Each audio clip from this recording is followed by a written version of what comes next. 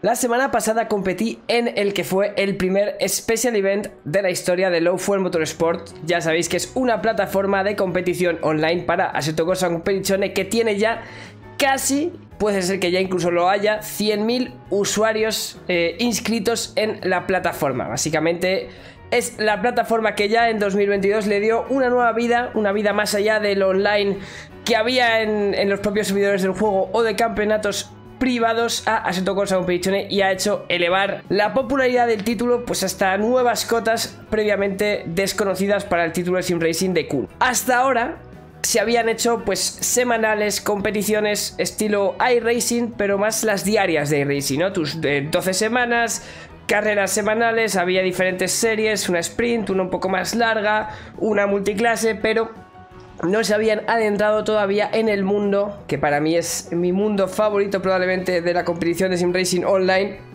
de los Special Events.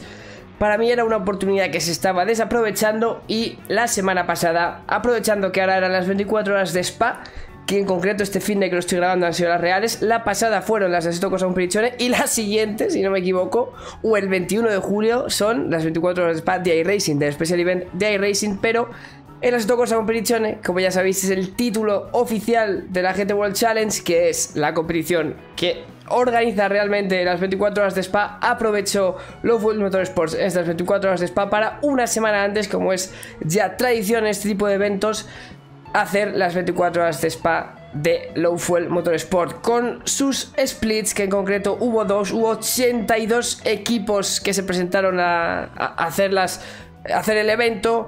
Hubo dos splits, 41, 42 equipos por split. Eh, yo estuve compitiendo en split 1, con lo cual fue curioso porque estuve compitiendo básicamente contra Williams Esports, por ejemplo, o sea, contra los mejores del mundo que nos estaban metiendo una paliza, pero fue bastante interesante y al final medirte contra los mejores siempre es bonito, pero eso no es lo importante de este vídeo. Lo importante de este vídeo es, como estoy diciendo, han llegado los Special Events, se hizo este como prueba y salió bastante bien, la verdad.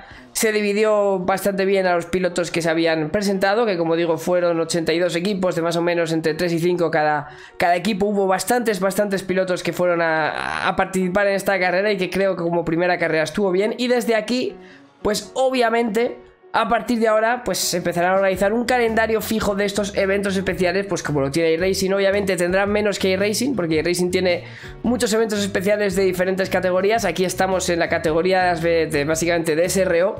Y pues tendrán que pensar cuáles son los eventos especiales que hacen. Para mí lo perfecto sería seguir la Intercontinental Challenge, que son básicamente las carreras de resistencia de SRO, las más importantes, y entre las que se encuentran hasta este año, pues las 24 horas de Spa, las 24 eh, horas o 12, no recuerdo ahora, de, de Bon Panorama, creo que Kialami y creo que Suzuka. Eran cuatro. Y lo interesante, lo interesante también, además de esto, porque esto ya por sí solo, antes de pasar a, a la siguiente parte interesante de este vídeo, para mí era importante, ¿no? Eh, Low Fuel Motorsport sin duda son un gran, em, una gran noticia para ese cosa competiciones, pero es que que se una a Special Events, que empieza a ver estos eventos que, que sean disfrutados por la comunidad, para mí era necesario. Para mí el calendario se prestaba a ello. Hay eventos que se pueden recrear en, eh, el videojuego, eh, como en este caso las 24 horas de spa, creo que hay alguno más que se podría hacer.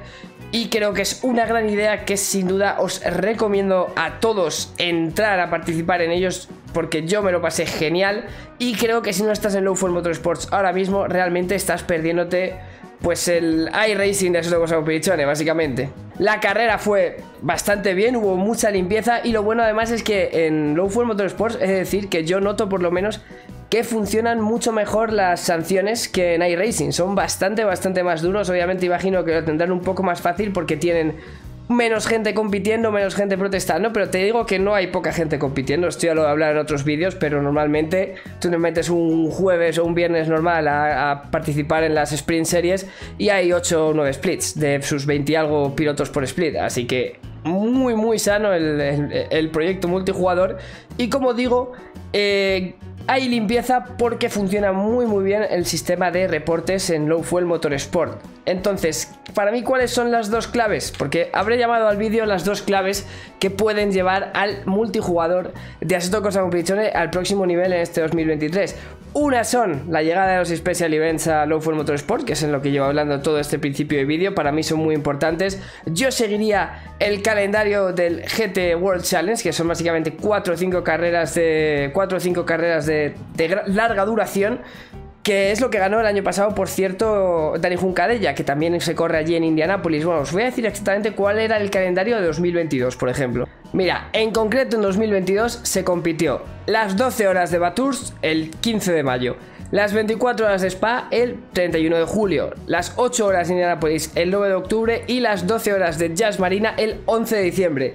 Además sería una buena idea para incluir a Jazz Marina en el simulador porque ahora mismo no está. Pero bueno, si te vas a 2021 si no me equivoco, mira, pues se corrió en Kialami, eh, una de las rondas, no se corrió, no se corrió en Jazz Marina. En 2020 eh, se hizo Batours, Indianapolis, Spa y Kialami.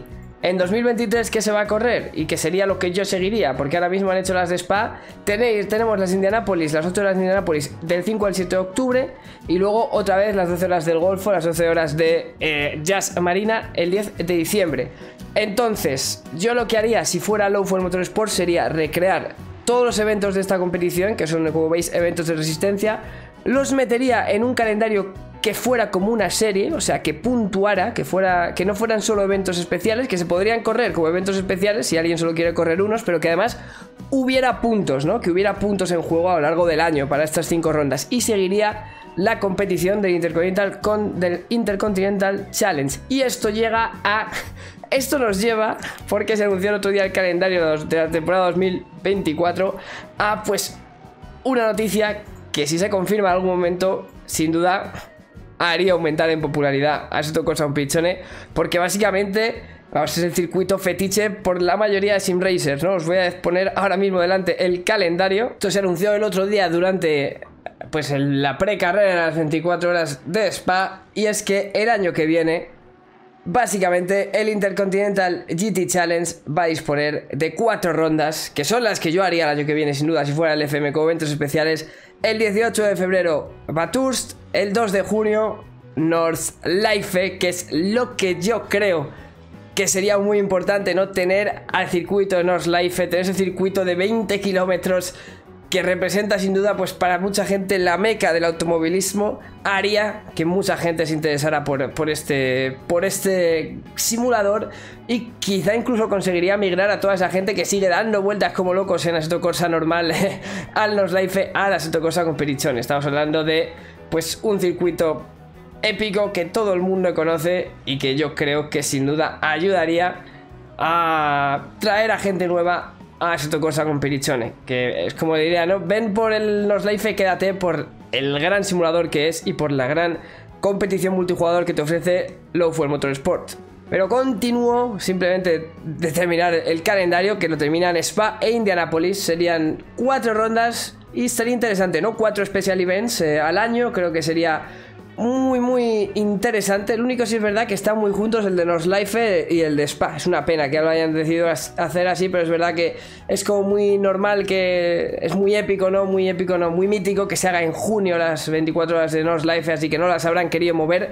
Yo hubiera movido Spa quizá a septiembre o a agosto, pero tampoco han querido, obviamente, pues mejor en junio y sobre todo porque quizá he dicho una locura, a septiembre quizás es una locura, pero quizá agosto sí se podría haber hecho, teniendo en cuenta que en Spa creo que empieza a nevar bastante pronto. Pero bueno, estas serían las dos eh, novedades que podrían hacer que el Assetto Corsa le pegara un salto nuevo, una ya confirmada, que son los Special Events en Low Fuel Motorsports, que os recomiendo entrar a esa, a esa web. Todos los que juguéis a Assetto Corsa y si no estáis ahí dentro, estáis sin duda perdiendo horas y horas de diversión y obviamente si dieran el paso y trajeran los Life sería espectacular, es un circuito que se le ha pedido durante muchísimos años a Kunos, que siempre la excusa era que no estaba en el calendario, pero ahora, ¡pum!, va a estar el calendario. Lo único que puede frenar esto es obviamente que viene a Seto Cosa 2 dentro de poco, en principio en 2024, y que no se sabe muy bien qué van a hacer con esto Cosa Pirichone de cara a Seto Cosa 2. No hay noticias.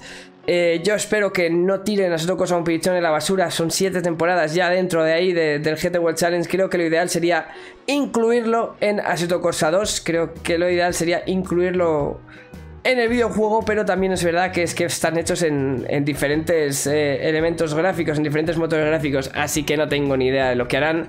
pero espero que no simplemente se olviden de Assetto Corsa Competizione porque para mí es, es, un juegazo y yo creo que lo que harán será, Assetto 2 será pues todo el resto de competiciones automovilísticas que te puedas imaginar, entiendo.